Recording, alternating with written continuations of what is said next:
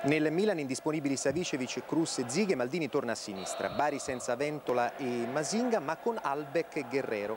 Fascetti recupera Ingesson. Da un rinvio sbagliato di Mancini, Franco Mancini, la prima chance per il Milan. Clivert, una spallata a Necruz che poi riesce comunque a deviare, anche se con un po' di fortuna, in calcio d'angolo sulla conclusione dell'olandese. Il movimento di UEA, Boban vede un varco prova con il destro.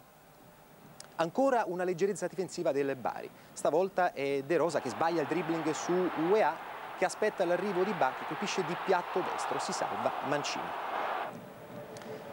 Albertini pressato sbaglia, Guerrero prova il pallonetto. Capello dopo 20 minuti del primo tempo non è soddisfatto del gioco della sua squadra. Punizione di Albertini, Clivert fa da torre e prova la girata di volo Capitan Maldini. Costa Curta partecipa alla costruzione di questa manovra, controllo d'esterno destro e conclusione di Boban. Ba e Maldini stavolta di testa. Non trova il bersaglio ma impressionante lo stacco del capitano rossonero. Guerrero la sua squadra finora poco incisiva in attacco, prova a pescare il Jolly dalla distanza ed è un eh, destro abbastanza insidioso come possiamo apprezzare in questo replay che ci propone Maurizio Tonini nel suo montaggio.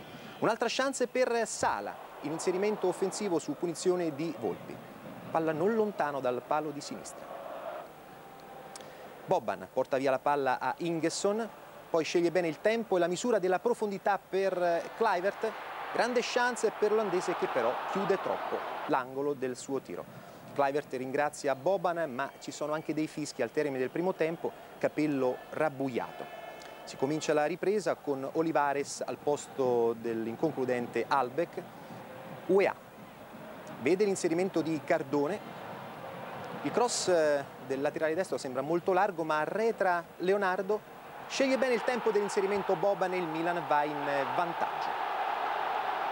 È il primo gol in questo campionato per Zorro Boban, rivediamo. Boban segue l'azione, molto intelligente Leonardo e il croato trova il corridoio giusto. Ancora un replay. La finta di Ba su Garzia, buon cross e Leonardo prova direttamente la conclusione stavolta.